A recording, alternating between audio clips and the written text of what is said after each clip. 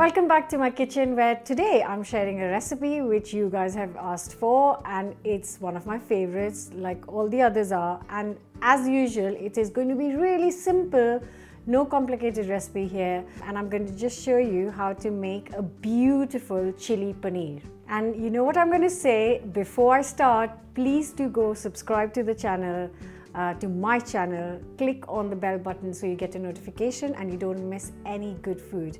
Right, so starting with paneer of course and here I've got 400 grams of uh, ready paneer. Um, if you find that the paneer you buy from shops is quite hard, what I've done is I've soaked it in warm water for 10 minutes and it just makes it nice and soft.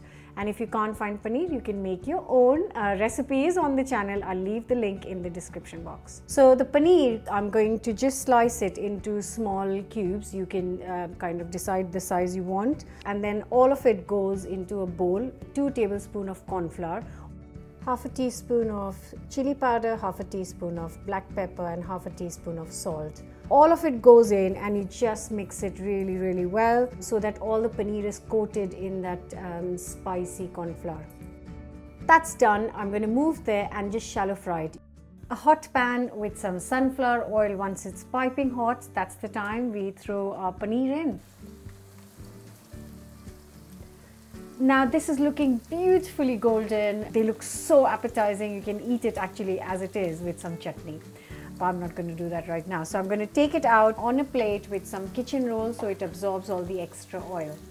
Once that is done, I'm actually going to change the pan, get a slightly deeper pan here a little bit of oil, maybe two tablespoons. And the first thing that goes in is one red chili and a green chili. You can use the tiny ones, but today I only have the big ones. As soon as it goes in, it sizzles and that's when we add our ginger and garlic. So I've got a really nice big piece of ginger, an inch piece of ginger and three cloves of garlic, which I've grated. You can finely chop.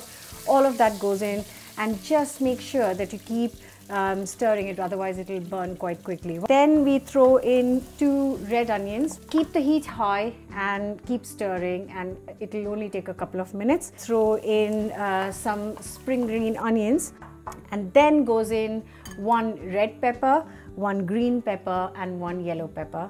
Mix it up very very well. You don't want it going really really soft. You still want a lovely crunch in it.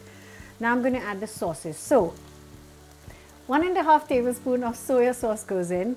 Um, I tend to use dark soya sauce and half a tablespoon of vinegar, chili and garlic paste here, two tablespoon, heaped tablespoon of this sauce into it and also a tablespoon of just a red chili sauce. Uh, but if you don't want to go this spicy, then you can reduce it. Now a quick good mix add 300 ml of boiling water and then just turn it around quite quickly and in this little bowl I'm going to mix a tablespoon and a half of corn flour with a tablespoon and a half of cold water and just make a little paste. I want the dish to have a layer of sauce around it to coat the paneer and the peppers. Add to this piping hot mixture. As soon as you add it, it'll thicken the sauce really really quickly instantly actually. And then once that is done I'm going to throw in all the fried paneer pieces in it. So all of that goes in there. Add just a good pinch of salt and a good pinch of black pepper.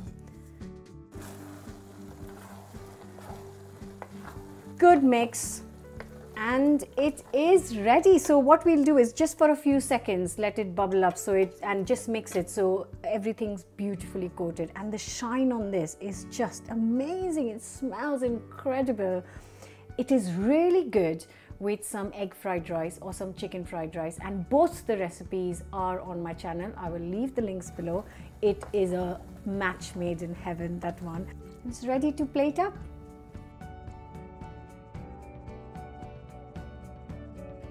Oh, it smells good. Um, what I can say is that this is a good uh, quantity to serve four to five people. Uh, no, this is not my single portion, but I'm just going to try it.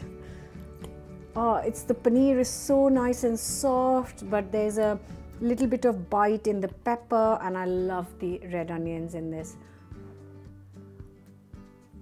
Mmm. Oh, it's got a kick to it which is what you want. Mm. So easy to make, guys. You must definitely give this a go. Give us a thumbs up if you like the recipe. Don't forget to subscribe, and I'll see you next week with a brand new recipe. If you have any requests, I do try and make it. It's not always straight away, but if you have any requests, leave me a comment. Bye. I might make that egg fried rice after all.